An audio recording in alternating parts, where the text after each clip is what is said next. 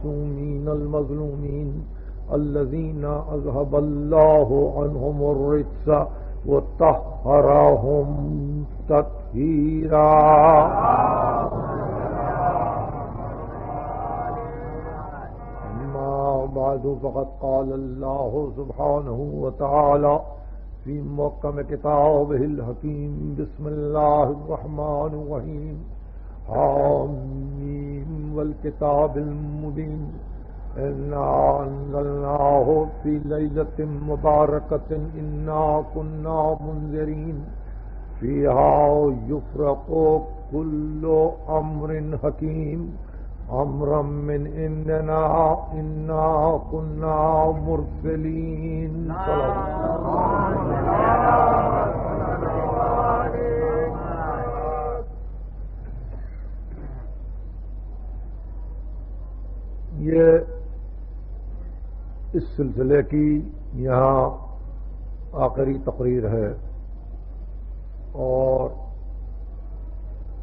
आगाज़ तकरीर ही में यह अर्ज़ कर दूँ कि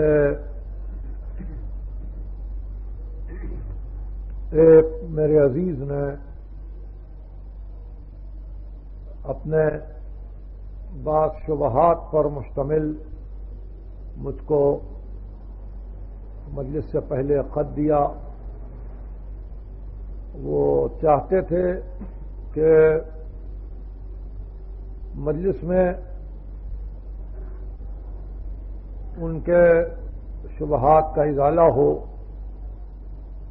मगर चूँकि एक उनवान मुन है और हम सिलसिले से किसी मंजिल पर पहुँच चुके हैं इसलिए उनसे गुजारिश है कि वो जिस वक्त चाहें, जब मुनासिब समझें, गरीब खाने पर जहमत करें और कुछ देर बैठें। मैं खुद उनसे इस्तेफादा करना चाहता हूँ और इस तरह से तबादले ख्यालात के बाद शायद वो किसी नतीजे पर पहुँचे।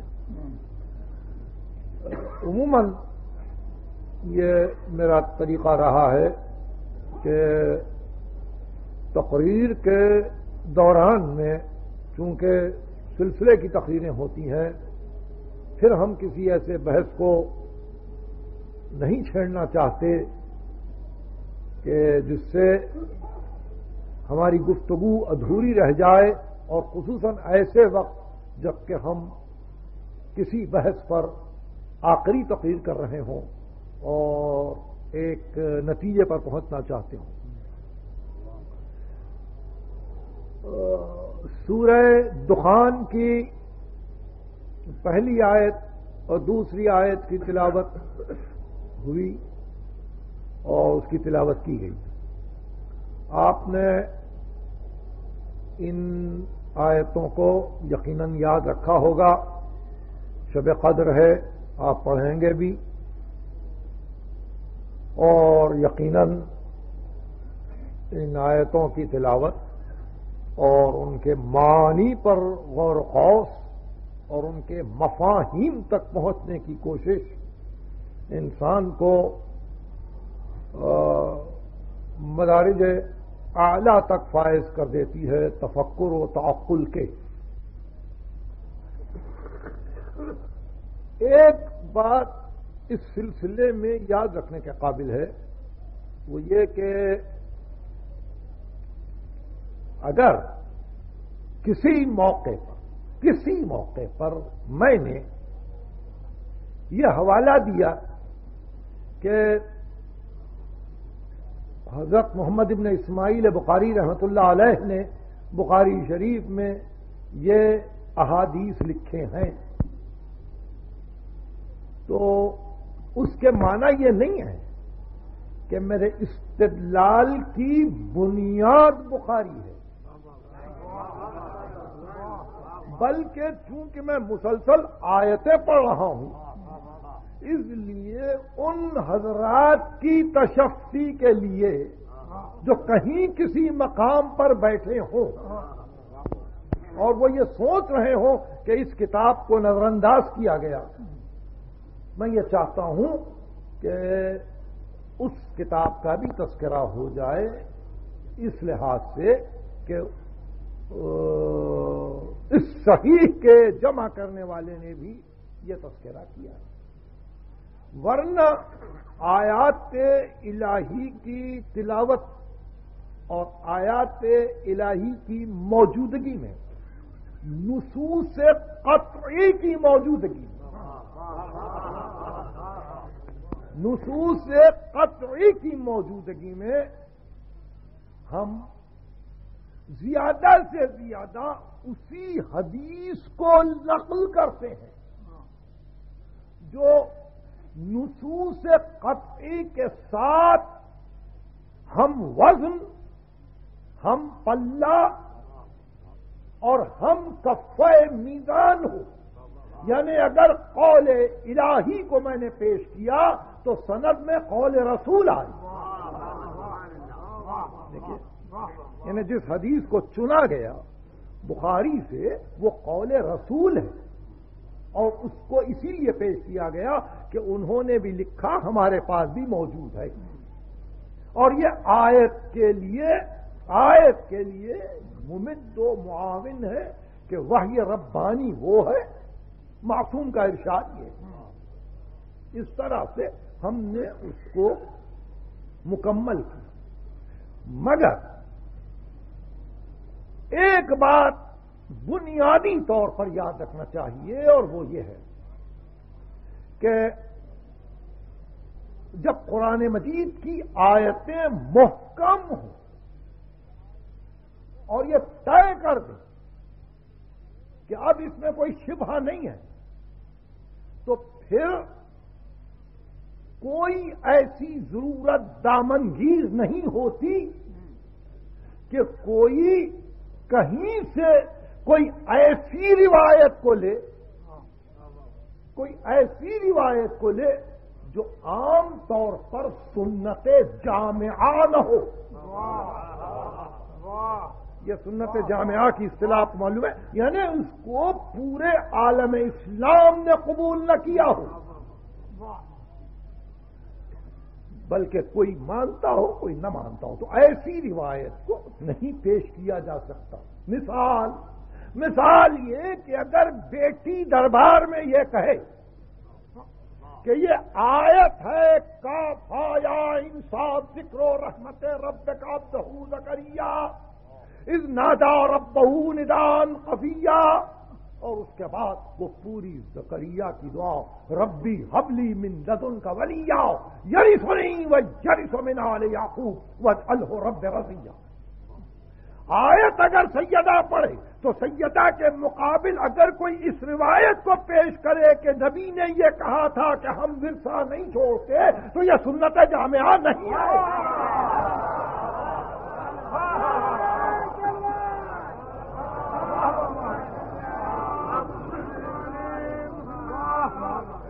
मिसाल दी जब आयत को पेश किया जाता है तो फिर वही रिवायत आए कि जिसको सब तस्लीम कर, सब तस्लीम कर। सिर्फ़ चंद इंसान अगर किसी रिवायत को मानते हों और उसको आयत के मुकाबले में पेश करने की कोशिश करें तो वो इज्तिहाद मुकाबिलनस होगा। इज्तिहाद मुकाबिलनस होगा। हालाँकि इज्तिहाद पर बिनाए नस होना चाहिए।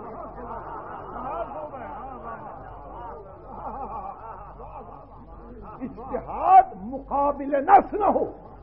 इश्तिहाद बर बिनाए नस कि ये नस है यह इश्तिहाद यह नस है यह इस्तेबाद मगर इश्तिहाद मुकाबिल नस हमेशा पुरखतर है। और इंसान के लिए खदशा है। इसलिए अब एक मरतबा इसको हमेशा जहन में रखने की कोशिश कीजिए कि अगर आयत कतई हो, आयत है कि यहिया जकरिया का वारिस है। आयत है वह वरेसा सुलेमानो दाऊदा। और सुलेमान वारिस हुए दाऊद के। तो अब अंबिया में जब विरसा आया तो फिर पैगंबर से मंसूब करके इस हदीस को बयान करना कि हम गुरोह अंबिया विरसा नहीं छोड़ते। या तो आयत की मुखालफत है, आयत की मुखालफत है, या ये बतलाने की कोशिश है कि नबी कुरान की जबान में एक कुछ कहता है। और अपनी निजी गुफ्तगु में कुछ कहता है। और इस तजाद को बतलाने से इस्लाम की बुनियादें मुतजल हो जाती हैं। इसलिए हम आदतन, जब एक आयत को ले लेते तो फिर हम नहीं चाहते कि उस आयत के मुकाबिल में कोई नस आए। लेकिन बहुत अजीब आयत के मुकाबिल में कोई रिवायत आए।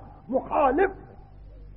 उसके मुकाबिल के माने, यानी उसकी मुखालफत करते हुए, आयत के यानी अगर आयत यह है व तथीरा।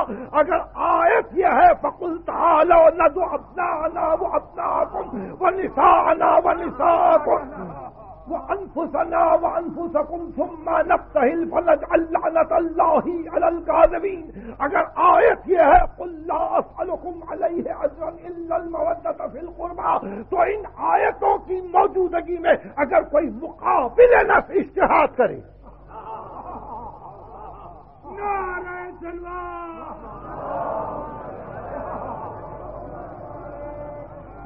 तो हम उसको कबूल करने के लिए तैयार नहीं है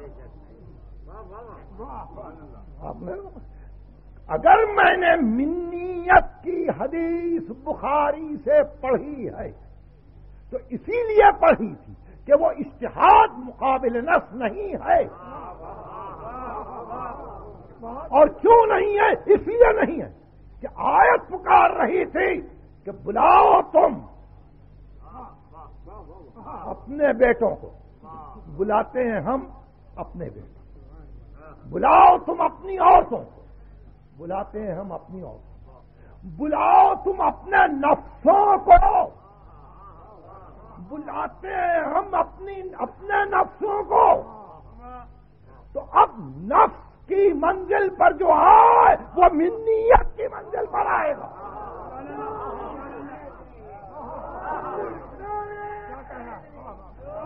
ये कल की गुफ्तु वो जो नफ्स की मंजिल पर आए, वो मिन्नीयत की मंजिल पर आएगा तो मिन्नीयत की रिवायत पढ़ने की वजह ये थी कि ये हदीस मुताबिक आयत है।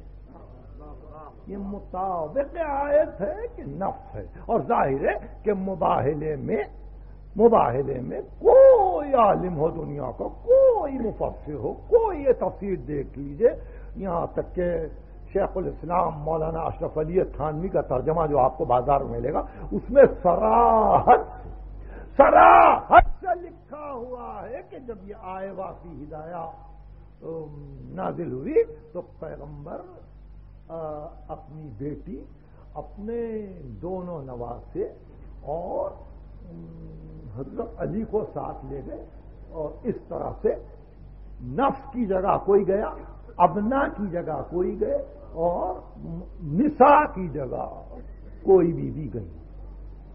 तो ये सारे मुफसरीन ने लिखा, सारे मुफसर सिर्फ़ एक तफसीर में यह तस्करा आप नहीं पाएँगे। यानी कोई तस्करा ही नहीं है, सिर्फ़ एक, पूरी दुनिया में सिर्फ़ एक तफसीर नज़र से गुजरी, और वो था हमारे अहमदी कमेंटेटर का तर्जमा।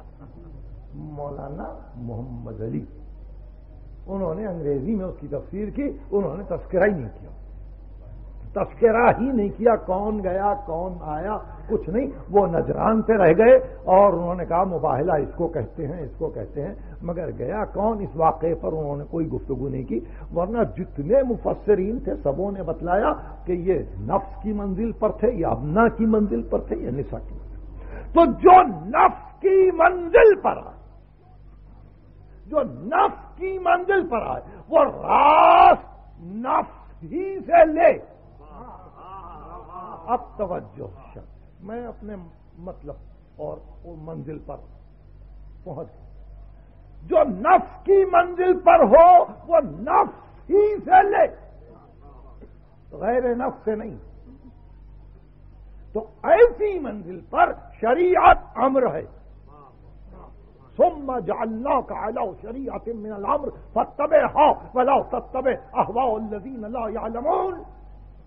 हमने तुझको हमारे आमर में से शरीयत पर करार दिया हमारा आमर है एक आमर है शरीयत उसी की पैरवी कर जो लोग इल्म नहीं रखते उनकी पैरवी न कर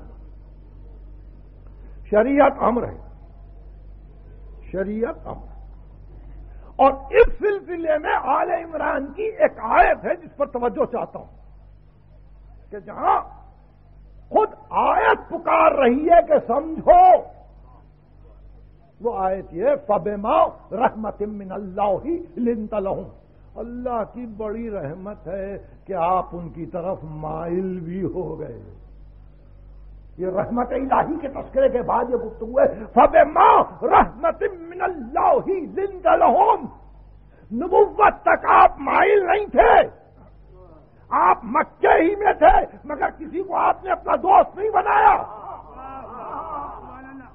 आप मक्के ही में थे, मगर किसी ने ये नहीं कहा कि हम मोहम्मद के साथ बचपन में खेलते थे। आप मक्के में थे, मगर किसी ने ये नहीं कहा कि जवानी साथ गुजरी। उम्रें मिलती जुलती हैं। मिलती जुलती उम्रें, कुछ ज़्यादा फ़र्क नहीं है। और सब मक्के के रहने वाले हैं। मगर इतने बुलंद थे कबल नबूबत क्या किसी को पहलू में नहीं बिठाया। किसी से बात नहीं की। वरना कितनी रिवायतें कबल नबूबत आ जाती। कि तिजारत के मुतालिक ये कहते थे कारोबान तिजारत के मुतालिक ये गुफ्तगु थी।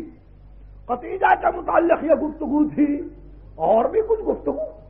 ये घर की बात है। कोई कुछ भी न कह सका, हज़ारों रिवायतें देख डाली कि किसी मकाम पर कुछ मिले, कुछ। न बचपन के मुतालिक न जवानी। चालीस बरस तक कुछ फबेमार रहमत लिनतल हूँ ये अल्लाह की रहमत है। क्या तो उनकी तरफ़ माइल भी हो गए लव कुंता फजन गलीजल कल और अगर आप सख्त फैसला करने वाले होते, आपके मिजाज में तेज़ी होती, सख्ती होती दोस्ती होती, लन फजू मिन हौलक यह सब तेरे पास से उठ के भाग जाती। लौ कुंता फजन गलीजल कल्ब, लन फजू मिन हौलक। फबेमाउ रहमत मिन अल्लाह ये अल्लाह की रहमत है कि आप उनकी तरफ़ माइल भी हो गए। और अगर वही दुरुस्ती कल्ब रहती और वही सफ़ाई कल्ब होती वही फैसला करने की कैफियत होती जो जवानी में और बचपन में थी तो लन फजू में हौले की अतराफ नहीं जमा होती ये तो हट जाती। इसलिए वाफो अन हूँ इनको बख्श दो। वस्तक फिर लहूं इनके लिए तलब मकसरत करो। वो शाविर हूँ। फिलम उनसे मशवरा कर लिया करना। देखिए, किस तमहीद के बाद है मशवरा? अरे, ये अल्लाह की रहमत है कि आप माइल भी हुए। और अगर जरा अदालत के साथ आप काम लेते तो ये सब उड़ जाते। लोकुन तफजन गलीजल कल जन फ़र्ज़ मिन हौले। पाफोन हम वस्तफिर लो माफ़ कर दे। माफ़ कर दे। उनके लिए तलब मकसरत कर। मासूम नहीं है।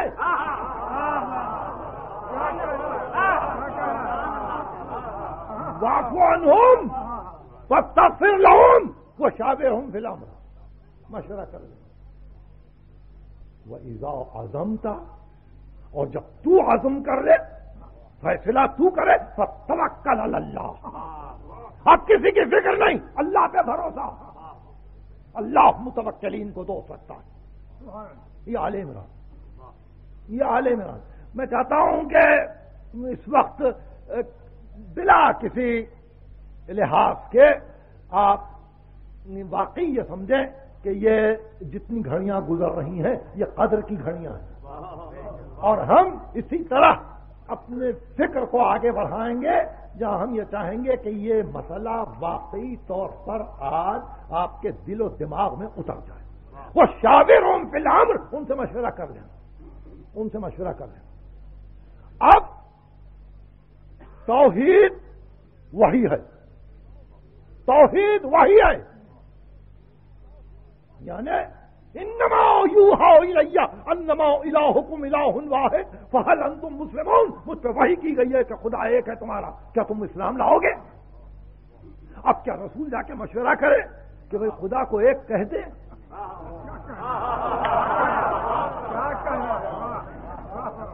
अब मशवरे की नौयतें देखते जाइए। खुदा एक है। मशवरे के बाद एक हुआ। उसके बाद वो कादिर है। वो हई है अयूम है लबियवल है लायदाद है। जब्बार है मुतकबिर है। रहमान है, रहीम है। और फिर मलकुल कुद्दूस तो अब यह जितनी तारीफें की मशवरे के बाद, असमाए इलाही के लिए मशवरा किया। नहीं नहीं, सब वही उसके बाद कहा, वही आई है कि मैं कहूँ, इन्नी रसूलुल्लाह मैं अल्लाह का रसूल हूँ, मशवरा किया। किसी से मशवरा किया तो तोहीद मशवरे से दूर। रिसालत मशवरे से अलग। अब कुरान आया, मशवरे के साथ आया। भाई आज ये आयत उतारे। कल यूँ आयत उतरे। नहीं दुनिया बिगड़ी हुई थी।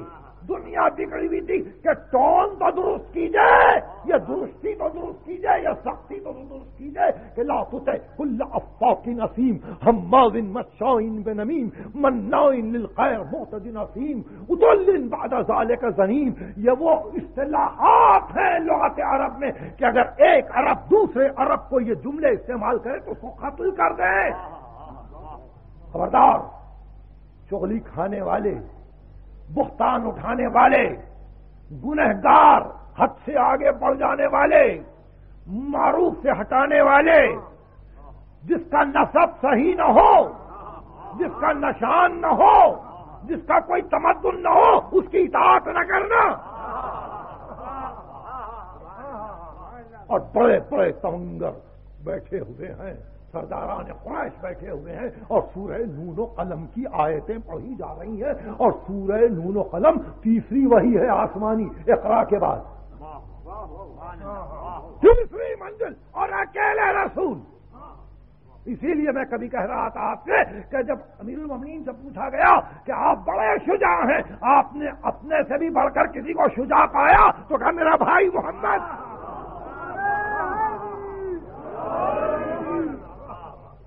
नारे सलवार। तोहीद में मशवरा नहीं है, रिसालत में मशवरा नहीं है, कुरान में मशवरा नहीं है।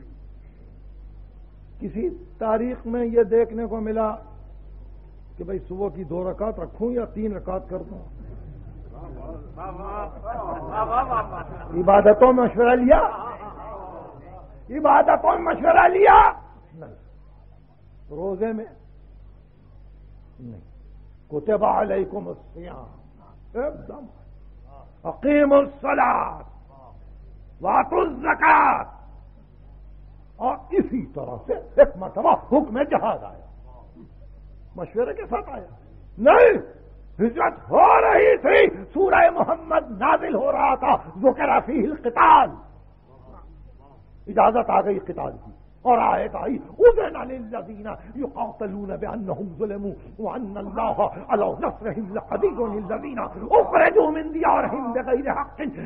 यक़ूलू रब्बुना अल्लाह।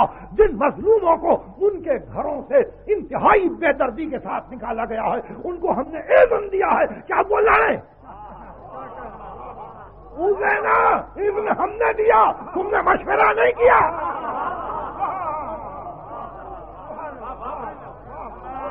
कितनी अजीब गुप्त है। जहाज़ मशवरा नहीं।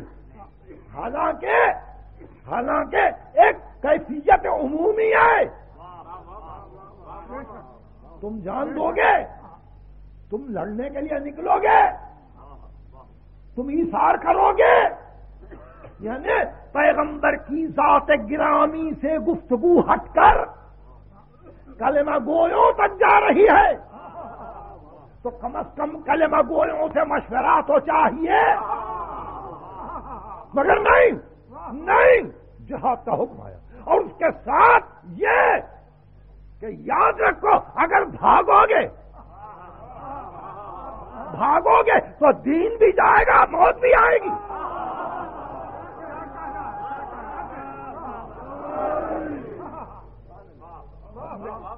जहाज़ में हुक्म हज में कोई मशवरा किया? कि हज वाजिब किया जाए या नहीं किया जाए? नहीं नहीं नहीं। यहाँ तक कि हुलिया काबा के लिए कि काबे पे जो ये पैराहन डाला जाता है यह खिलाफ है काबा, मशवरा नहीं।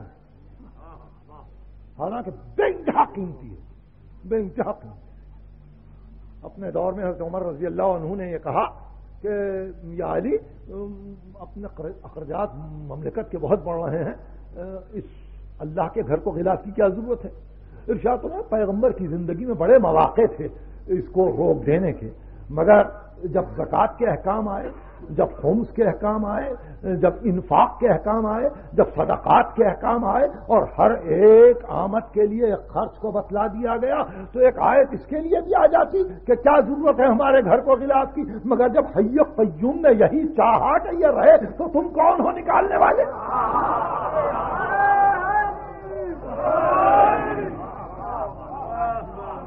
उस वक्त उनकी जबान से निकला कि खुदा उस वक्त के लिए बाकी न रखे।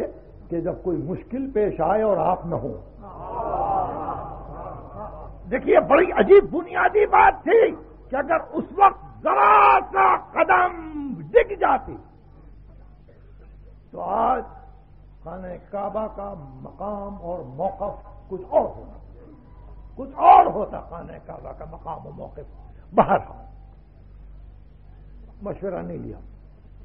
इसके बाद कुछ और आगे बढ़ जाए। कि इबादात में मशवरा नहीं लिया, अकायद में मशवरा नहीं लिया, अहकम। कुरान मजीद को उलट के देखिए, मशवरे की सूरत क्या है? कुरान मजीद यह कहता है कि नबी को तो छोड़ो। सभा की एक बादशाह थी, मलिका थी, एक औरत। और उसको हुद हुद ने सुलेमान का एक खत पहुँचाया। और मलिक सभा ने अपने वजीरों की काउंसिल को तलब करके कहा, इन्नी उल्किया इलैया किताब उन करीम वह हुआ मिन सुलेमान वह हुआ बिस्मिल्लाहमान सूरह मेरे पास एक खत आया है, और वो सुलेमान का है, और वो ये है। बिस्मिल्लाहिर्रहमानिर्रहीम। अल्लाह तलैया वातूनी मुस्लिमीन। देखो सरकशी न करना और तस्लीम करते हुए मेरे पास आ जाओ। अब इसके बाद मलिका सभा कहती है, माँ कुन तो कातियातन मैं किसी अम्र को खतीयत से फैसला नहीं करूँगी।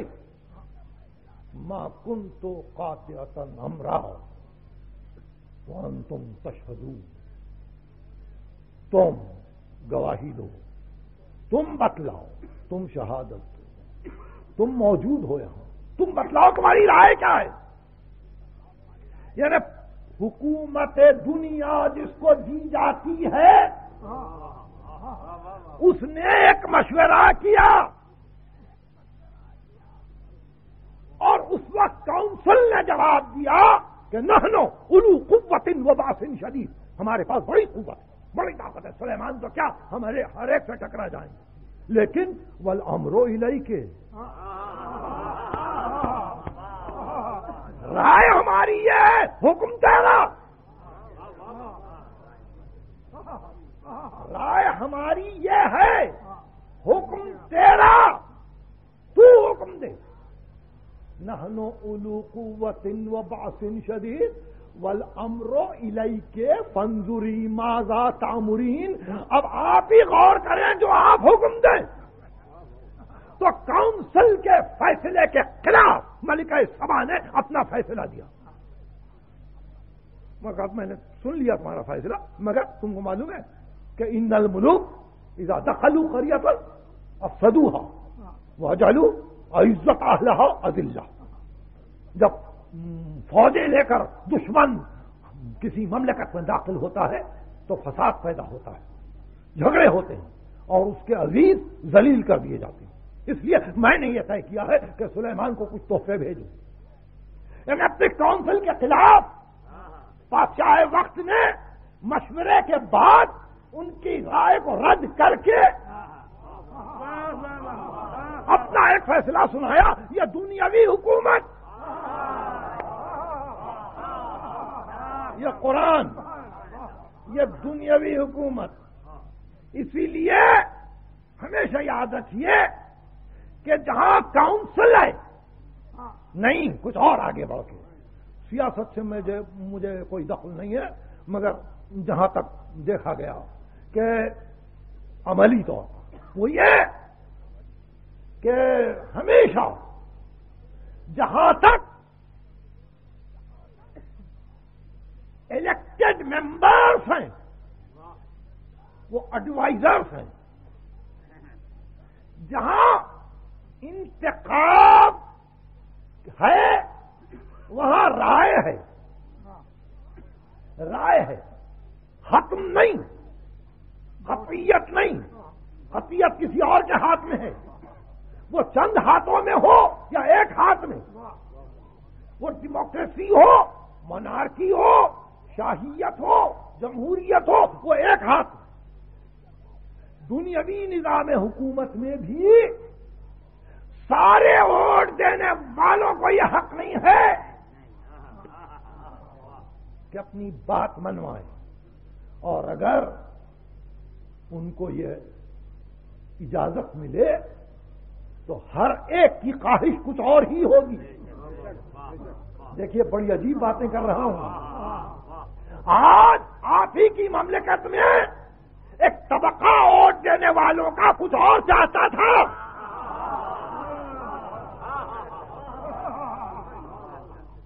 कुछ और चाहता था। यानी हमारी बका और हमारी हयात का दारो मदार इस बात पर था कि उसको रोका जाए। रोका जाए और कहा जाए कि फैसला गलत है। तो अक्सरियत का फैसला हुज्जत नहीं है।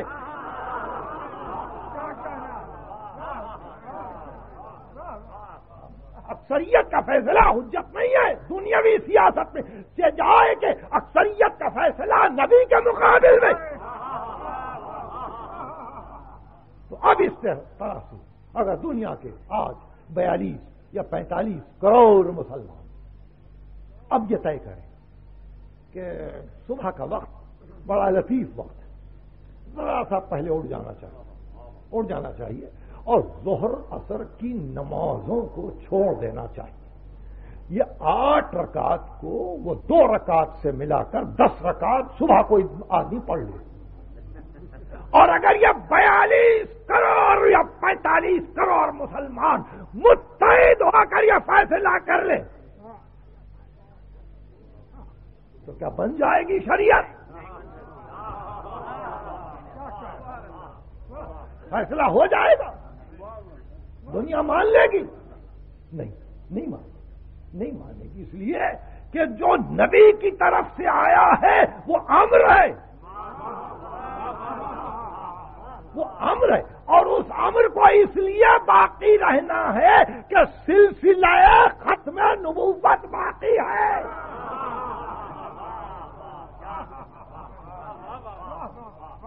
देखिए, इस मंजिल पर हम कल से मुसलसल हो गए। सिलसिला खत्म नबूवत बाकी है।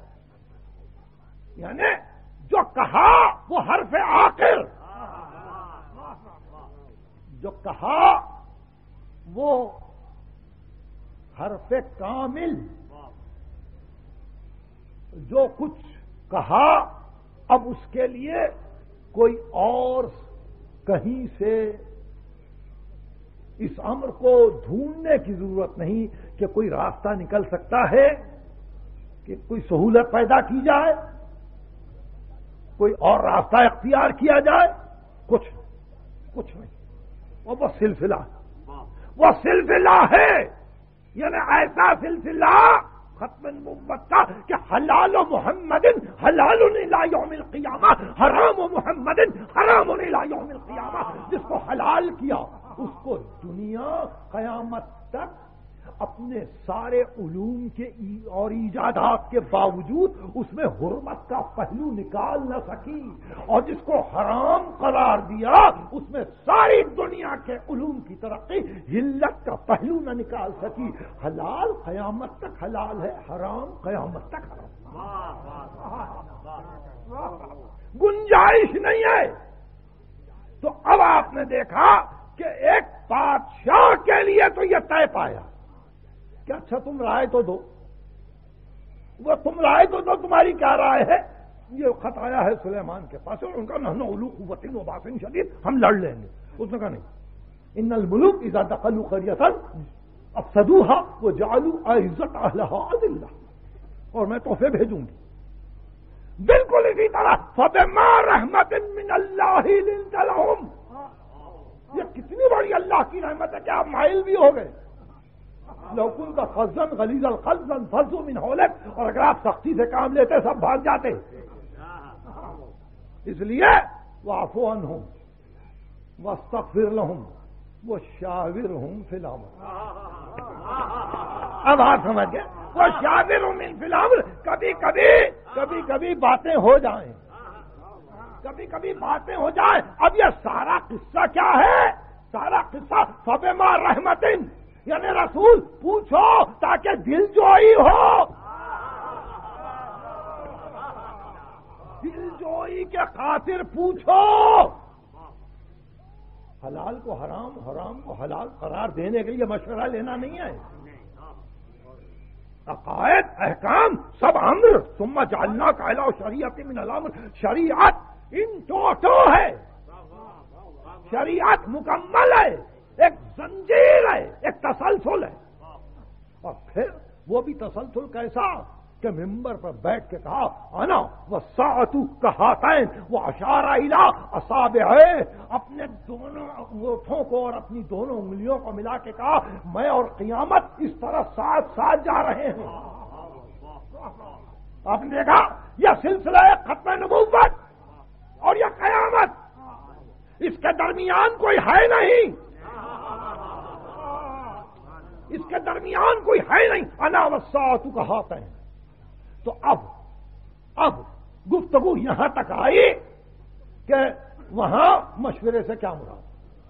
अब रह गया सूर्य शूरा में एक और आए थे वो तो साफ़ आए थे वो तो आप भी समझेंगे, हम भी समझेंगे। वो अमरो होम और उनके कारोबार शूरा बहन हूँ। और उनका जो अम्र है, वो आपस में वो मशवरा करें। अमरुल्लाह नहीं। अम्र शरीयत नहीं। वो अमरो होम, शूरा बहन हूँ उनके उमूर में वो मशवरत करें। मगर वो उमूर वही हो। वो उमूर वही हो जिसका शरीयत से ताल्लुक न हो अहकाम से ताल्लुक न हो, अकायद से ताल्लुक न हो, इबादत से ताल्लुक न हो, तुम्हारे फैसलों से ताल्लुक न हो। फला व रब कल्ला यू में नूना हत्ता जो हक के मुँह का सीमा शजर बई न सुमला यजदू फ़ी अंफुसहिम हरजम मिम्मा कज़ैता। व युसल्लिमू तस्लीमा। नहीं, खुदा की कसम वो मोमिन नहीं है, जब तक कि तुझे अपना हकम न बना देखिए, बहुत अजीब कुतुब वला वो रब का नहीं, तेरे रब की कसम नहीं। ला युमिनून वो ईमान वाले नहीं है। हत्ता यो हक के मुँह का जब तक के तुझे हकम न बनाए और फिर इर्शाद हुआ फला और रब का ला युमिनून हत्ता यो हक के मुँह का, जब तक के तुझे हकम न बनाए, और फिर जब तू फैसला दे दे। तो फिर अपने दिल में तेरी तरफ़ से उनको कभी दगी ना हो। कभी दगी ना हो कि पैगंबर ने तो यह फैसला दे दिया। यह फैसला दे दिया। वो युसलमू तस्लीमा, और तुझको तस्लीम करें जो हक तस्लीम करने का है। तेरे फैसले मिम्मा कजई था जो तू फैसला कर दे। जो तू फैसला कर दे। और फिर किस मसाले में? हकम तुझको किस मसले में बनाए? तोहीद में? अदल में? नबूवत में? सिलसिले हिदायत में? नहीं, फ़ी माँ शजरा बाई न होम उनके आपस के झगड़ों में। फ़ी माँ शजरा बाई न होम उनमें अगर आपस में कोई फूट पड़े तो तू फैसला दे। तो देखा आपने पैगंबर को निगरान किया, उम्मत के अहवाल का। उम्मत को निगरान नहीं बनाया पैगंबर का। तो ऐसी मंजिल पर, ऐसी मंजिल पर नबी साहेब अमर है। नबी साहेब अमर है। तो अब इसके बाद, अब इसके बाद ये अम्र आगे बढ़ा। तो एक सवाल आपसे है और उसके बाद ज़ाहिर तकलीफ़ नहीं दूँगा, मगर आप मुसलसल सोचें। अब इसके बाद ये अम्र आगे बढ़ा। तो नबी का अम्र है या उम्मत का? या नबी का अम्र है या उम्मत का? ये कल की गुफ्तगु है, देखिए। ये उम्मत का अम्र है या नबी का? या अल्लाह का अम्र है या आवाम का? ये जो उदुल अम्र कहा ये अम्र किसका है? ये अम्र किसका है? ये अम्र आया सिलसिला खातमियत से। सिलसिला खातमियत से अम्र आया। और जब अम्र आया तो ज़ाहिर है, मिन कुम वो तुम ही में से है। अम्र लिया उधर से। है तुम में से। नबी आया तुम में से। नबूबत ली वहाँ से। हुई बासफिल रसूल मिन होम अल्लाह ने मबूस किया रसूल को उनके नफ्सों में से। अना बशरुन मिसलोकुम। मैं तुम्हारी तरह बशर हूँ। मतलब ये कि तुम्हारी तरह बशर हूँ तो उसके माने तुम भी नबी हो, मैं भी नबी हूँ। नहीं नहीं, बशरियत मेरी तुम्हारी तरह से है। नबूबत वहाँ से ले रहा हूँ। उलुल अम्र मिनकुम, तुम्हारी तरह इंसान हूँ, अम्र नबी का है। अम्र नबी का है, नबी से ले रहा हूँ तो उलुल अम्र, वो साहेब अम्र, जो नबी से अम्र। नबी वो जो खुदा से अम्र। नबी वो जो खुदा से अम्र। और जब अम्र ले तो फिर अब मर्ज़ी नबी की नहीं। नबी की नहीं, अब अल्लाह की मर्ज़ी। अल्लाह की मर्ज़ी। नबी को कैसे मालूम है कि खुदा उसको दो सकता है? नबी को कैसे मालूम है कि खुदा उसको दो सकता है? नबी कैसे फैसला कर देते हैं अपनी जगह पर बैठकर कि कल अलम उसको दूँगा, जिसको खुदा दो सकता है।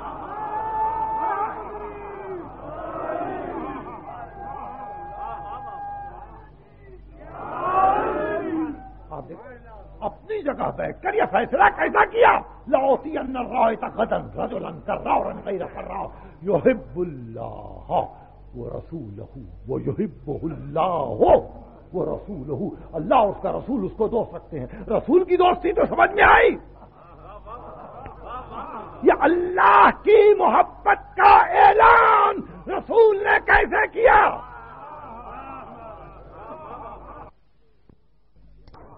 रसूल ने कैसे किया? जब तक के इज्न न हो।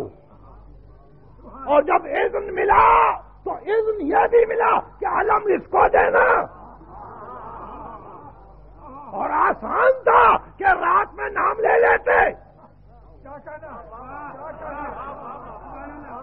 देखिए, इससे पहले इससे पहले यही हुआ कि कल तुम जाओ। कल तुम जाओ। और उसके बाद, जब एक दिन आया तो अब नाम नहीं लेते। कहते हैं कल एक मर्द को अलम दूँगा। तो अल्लाह के रसूल ये रात भर का इंसान हैरान तो है।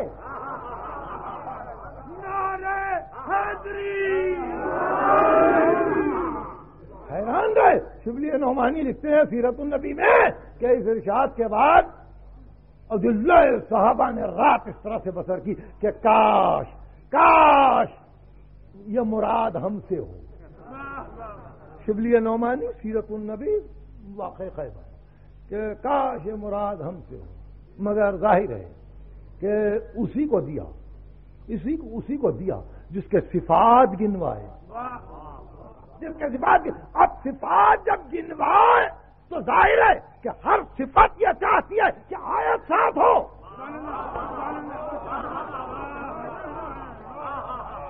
हर सिफत ये चाहती है कि आयत साथ हो।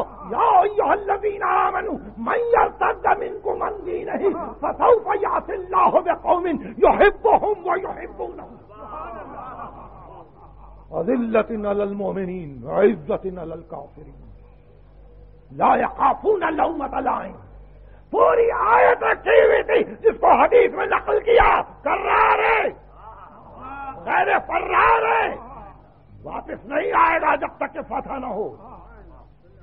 अल्लाह और रसूल उसको दो सकते हैं। वो अल्लाह और रसूल को दो सकता है। आयत पूरी मौजूद। और ऐसे में नबी ने आयत की तशरीह की। और यह बतलाया कि वो वो वो जा रहा है। अलम लेके जा रहा है। अलम लेके जा रहा है। तो आपने देखा कि हर मंजिल पर, हर मंजिल पर मर्ज़ी महबूद की पाबंदी नबी ने की।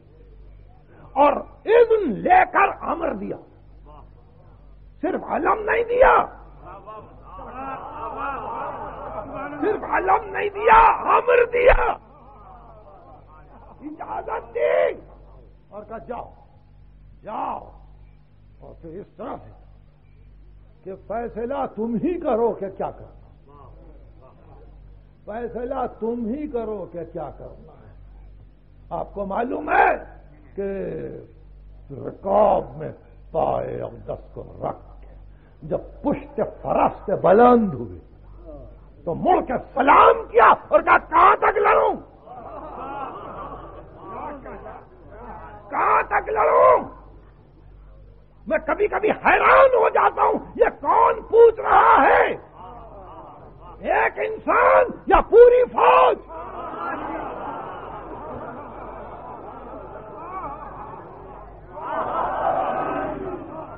कौन पूछ रहा है इंसान या पूरी फौज कहाँ तक लड़ू?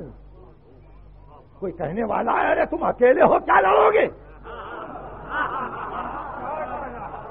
देखा उसने पूछा, कहाँ तक लड़ो? तो ये दिल के हाल का जानने वाला कहता है, वहाँ तक लड़ो, जब तक यह शदोन लाइला है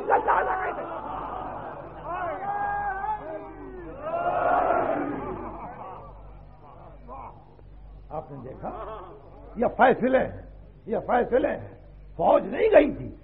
एक आदमी गया था। एक आदमी गया था। तो ज़ाहिर है एक आदमी के लिए काफ़ी था कि मरहब को कत्ल करके वापिस आ जाता। मरहब को कत्ल करके वापिस आता नहीं। मरहब को कत्ल करके फौजों के सफों में घुस गया। और सफों को ढकेलते हुए किले तक पहुँचाया। और किले के बाहर जब उसके हदूद के बाहर फौजें चली गई तो अब पहुँचे उस दरवाजे पर। कि जिसके खोलने और बंद करने के लिए बयालीस आदमी मोयन थे। और उसके बाद एक मरतबा उस दर को उखाड़ा। और ये कह के आगे बढ़े अपने अहबाब में, बाकल्ला तो बाबकैबरी बेखुवत बशरिया बल बेखुवत इलाहिया।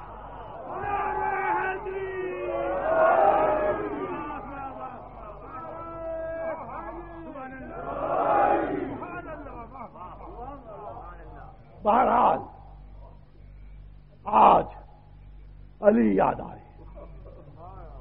अली याद आए। कभी खैबर याद आ रहा है, कभी खंदक की लड़ाई याद आ रही है, कभी वो दिन याद आ रहा है कि हुनैन में पूरा बारह हज़ार का लश्कर भाग चुका है और कुल दस आदमी रह गए हैं। और अली बेख्तियार लड़े जा रहे हैं। और बार बार मुड़ के कहते हैं, अल्लाह के रसूल, अल्लाह के रसूल, आपको कोई जहमत तो नहीं है? आपको कोई जहमत नहीं है? अल्लाह के रसूल दुआ पर दुआ दिए जा रहे हैं। यहाँ तक के जंग का नक्शा बदल के रख दिया। फतेह हुनैन फतेह हुनैन, और यही वह मंजिल थी। यही वो मंजिल थी। सिद्क कलील भी है। सब्र हुसैन भी है। मारिके वजूद में बदरो हुनैन भी है। तो बद्र से लेकर हुनैन तक अली अली अली। कोई और मकाम नहीं। कोई और मकाम, किसी मकाम पर आपने नहीं देखा होगा कि कोई नाम ऐसा आ जाए। कोई ऐसा नाम आ जाए कि ना इस्लाम का मुहाफिज। इस्लाम का मुहाफिज कोई और नज़र आए। नहीं। हयात पैगंबर और बाद हयात हिफाजत इस्लाम इस तरह से की। इस तरह से की। और यह बतलाया कि आमर को रसूल से ले रहा हूँ। और मैं आमर को आगे बढ़ा रहा हूँ। यह हमारे जलवे नहीं है। तकरीर का खातिमा। यह सब मोहम्मद के जलवे हैं। इतना बड़ा मजमा अगर आज अली के फजाइल को सुन रहा है तो वो अली के फजाइल नहीं है, वो मोहम्मद के फजाइल है। अगर गुफ्तगु हसन की है तो वो मोहम्मद का जलवा है। अगर गुफ्तगु हुसैन की है तो वो मोहम्मद का जलवा है। अगर सैयद साजदीन की गुफ्तु है, वो मोहम्मद का जलवा है। खत्म नबूबत जा रही है। यह सिलसिला खत्म नबूबत है। तो ऐसे ही मन वो दिन खत्म हुआ। और ग्यारह हिजरी में पैगंबर की आँखें बंद हुई। और उसके बाद सबर तू, मैंने सबर किया। वो फिलहाई ने कदा, वो फिलहल के सजा। मेरी आँखों में कांटे खटक रहे थे। मेरे गले में फांस। अरा तुरासी नहबा, मैं देख रहा था, मेरी मीरास लुट रही।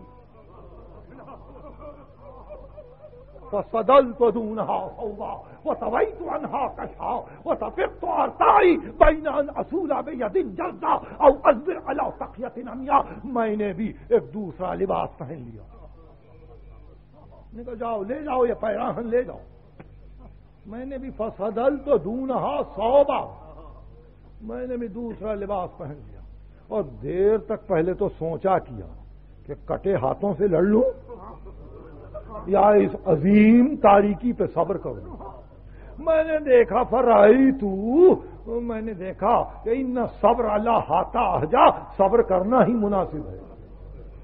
और सबर तू। मैंने सब्र किया। मैंने सब्र किया और उसके बाद यहाँ तक सब्र यहाँ तक सब्र कि कामिल चौबीस बरस उसके बाद फलम्मा नहस तो बिल आमर। और जब मुझे आमर मिला देखिए मेरी सिलसिले तकरीर फलम्मा नहस तो बिल आमर। नकसत ताइफतुन वो मरकत उकरा वो कसता करून एक ताइफा नाकिसीन का आया एक ग्रोह मारकीन का आया एक ग्रोह कासिन का आया और मैं सबसे लड़ता रहा। आम्र पर मैं आया। और ये लड़ते रहे ये लड़ते रहे मैं आम्र पर आया। फलम्मा नहा मिल अमर अमर रसूल से लिया। और बजाहिर, तुम लोगों ने इजमा किया मेरी जात पर। इसके बावजूद लौटे और मैंने मोहलत पाई। कुरान कहा नहजा पे आ गए। मैं मैदान से कूफे वापस आया। और उसके बाद कुछ वक्त गुजरा। कुछ वक्त गुजरा। और मुसलसल अली यही कहते हुए पाए गए कि उरीद हयात हूँ वह युरीद कतली। मैं उसकी ज़िंदगी चाहता हूँ वह मेरी मौत चाहता है। क्यों, इब्न मुलजिम? मैंने क्या खता की है? अब्दुलरहमान इब्न मुलजिम, मेरे बच्चों को यतीम न कर। बहरहाल, वो वक्त आया और उन्नीस की सुबह आई। कूफे की मस्जिद लरस गई। कूफे का शहर लरस गया। अली ने फकत दारुल खिलाफा ही नहीं बदला। अली ने अरब की तारीख को बदल के रख कूफे को वो अहमियत दी कि आज वो सबसे बड़ी रूहानी दर्जगाह है। अली, वहीं आराम कर रहे हैं। वही जगह पसंद की। अली ने बस्ती बसाई। कल कह रहा था, फिर आज कहूँगा, खुदा वाले का काबे से सफ़र कूफे की मस्जिद तक। इशारा है कि थी कुल ज़िंदगी मेराज जिस्मानी खुदा वाले का काबे से सफ़र। कूफे की मस्जिद तक इशारा है कि थी कुल ज़िंदगी मेराज जिस्मानी पैदा हुए खाने का। बढ़े रसूल के हाथों। पले रसूल के सीने पर। पैगंबर की जबान चूसी और फिर जब जवानी आई तो हर कदम भाई ने, भाई से यही कहा, लहमों का लहमी, दमों का दमी और तुम्हारा गोश्त मेरा गोश्त, तुम्हारा खून मेरा खून, तुम्हारी जान मेरी जान। और फिर जब वो मंजिल आई कि जब भाई रुखसत हो तो फिर अली के लिए तन्हाई थी। उन्नीस को रमज़ान की अली जख्मी हुए, घर आए और एक मर्तबा आँखें कुछ बंद हुई। ख्वाब में देखा रसूल आए। तो बे अख्तियार रसूल से लिपट कहा, या रसूल अल्लाह आपने देखा मेरा हाल? आपने मेरा हाल देखा? कहा अली? मैंने देखा। अब तुम आ जाओगे मेरे पास। अब तुम आ जाओगे। एक आध दिन की मोहलत है। आ जाओ मेरे पास, आ जाओ, मैं इंतज़ार कर रहा हूँ। उठे तो मुस्कुराते हुए, का दुआ कबूल हुई। मैं जा रहा हूँ, मैं जा रहा हूँ। उन्नीस का पूरा दिन गुजर गया। उन्नीस की शाम में यह ख्वाब देखा। बीस की रात गुजरी। बीस का तमाम दिन अली ने गुजार दिया वसीयतों में। कभी हुजिब ने अली से वसीयत की, कभी हुजैफ यमानी को बुला के कुछ कहा। कभी हसन मुशतबा से वसीयत की, कभी हुसैन इब्न अली से गुफ्तगु की, और इस तरह से तमाम दिन इसी तरह से गुजरा, शाम हुई बच्चों के साथ अली ने इफ्तार किया। जैसा कि अभी आपने सुना होगा रिले पर। और उसके बाद एक मरतबा, आप दुआओं में मसरूफ हो गए। शब कद्र भी शब सफ़र अली भी। शब कदर भी, शब शहादत अली हसन मुशतबा को बुला के देर तक आहिस्ता आहिस्ता बातें करते रहे।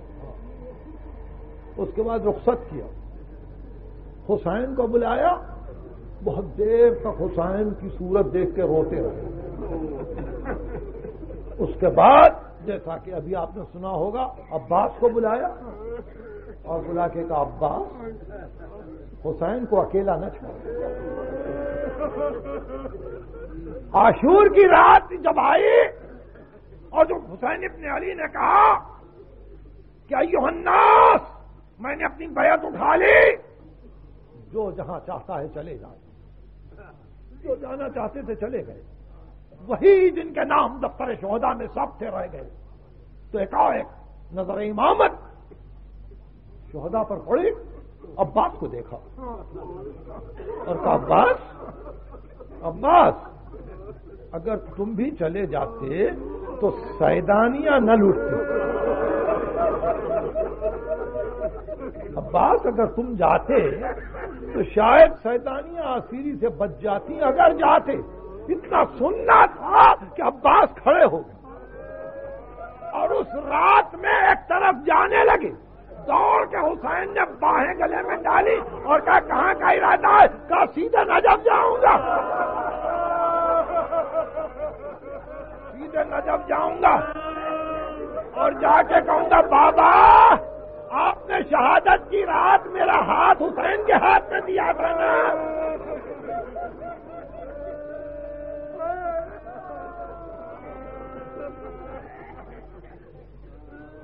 तो अब्बास को भी हुसैन के हवाले किया और उसके बाद वक्त तेज़ी से गुजरता चला।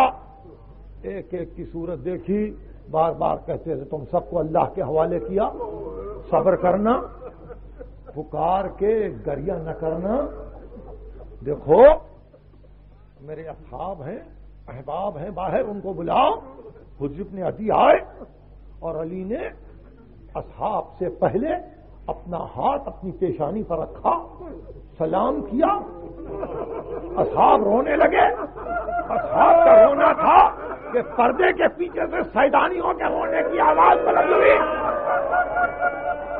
और जैसे ही सैदानियाँ रोने लगी तो मुड़ के कहा, मुड़ के कहा, हुजूर ने अदी जानते हो ये कौन रो रहा है? का मौला, फातिमा की बेटियाँ रो रही हैं। मोहम्मद की नवाजियाँ रो रही हैं। कहा, हुजूर ने अदी कूफे वालों से कहो, अगर मेरे मरने के बाद अगर यही फातिमा की बेटियाँ इस कूफे में आए,